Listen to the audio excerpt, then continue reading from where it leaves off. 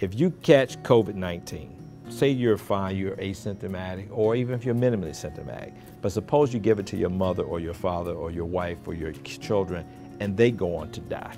Would you be okay with that? I feel that that is the way to go is to get this injection. I've had two first cousins that died of COVID about three weeks ago, husband and wife, three days apart, and uh, had a funeral at the same time. And I don't want to see that for anybody. The concerns that people brought to me, always say they're coming out too fast. I say, well, we're in the middle of a pandemic with thousands of people dying a day. How long do you want them to take to, to come up with this? They brought out Tuskegee. Tuskegee was an experimentation uh, in the South looking at men who already had syphilis and was trying to look at long-term effects and they were withholding treatment. They weren't giving them treatment. If the goal is to kill black people, don't give you the shot.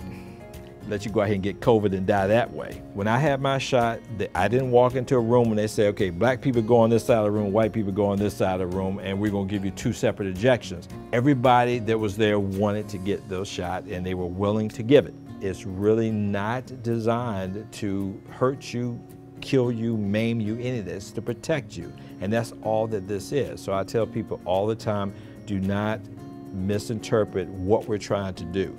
You will not get COVID from this injection. I want to make sure people are clear about that.